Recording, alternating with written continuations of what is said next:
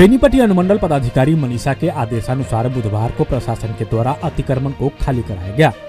प्रतिनियुक्त दंडाधिकारी सह सीओ रामकुमार पासवान के नेतृत्व में सहार घाट और मधवापुर पुलिस बल के सहयोग से मझौली से चरौत को जोड़ने वाली एन एच की सड़क में मधवापुर प्रखंड के एकारी, पिरोखर, सुजातपुर समेत अन्य जगहों पर कच्चे और अन्य तरह के अतिक्रमण को पूर्णतः खाली कराया गया, जहाँ जेसीबी के माध्यम से अतिक्रमण को मुक्त किया गया।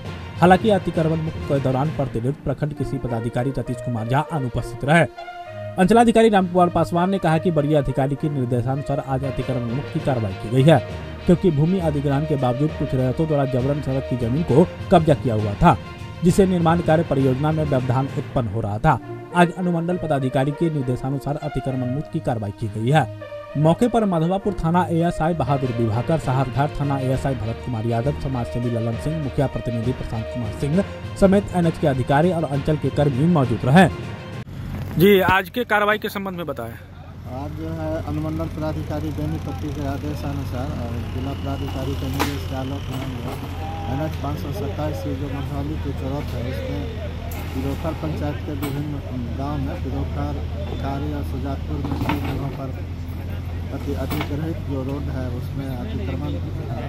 उसको हम लोग खाली करवाए हैं। इसमें मधवापुर थाना सहारगढ़ थाना दोनों का सहयोग प्राप्त हुआ है। पूरी तरह से खाली हो चुका है? हाँ फ़िलहाल पूरी तरह से खाली है। किसी तरह का अवरोध अब नहीं है आ, सड़क जो निर्माण हो रही है उसमें कितना महत्वपूर्ण हो जाता था? ये जो अतिक्रमण के कारण जो व्यवधान उत्पन्न हो रहा था? इतना ही बहुत मतलब जब से काम हो रहा है हम्म। इतना ही के लिए मतलब मतलब अपूर्ण था। हम्म। और ये काम हो जाने से अब सड़क का काम जल्दी पूर्ण हो जाएगा। अच्छा। हाँ। कितना महत्वपूर्ण हो जाता है इस इलाके के लिए सड़क? यह इस इलाके के लिए सड़क का अमृत की तरह काम करेगा। हम्म यहाँ बाढ़ का इलाका था। यहाँ चलना मुश्किल था। यहाँ रहना मुश्किल था। इस रोड बन जाने से यहाँ के लोगों का जन उद्धार हो गया। यहाँ से मुजफ्फरपुर की भी दूरी कम हो जाएगी मधवापुर के लोगों के लिए। हाँ मुजफ्फरपुर के लिए दूरी बहुत कम हो जाएगा। एक घंटा में लोग मुजफ्फरपुर पहुँच जाएँगे। जी। आपका परिचय? हमारा परिचय है हमारा घर सुजातपुर है हमारा नाम ललन सिंह हुआ। हम डिस्ट्रिक्ट कांग्रेस कमेटी के जनरल सेक्रेटरी हैं।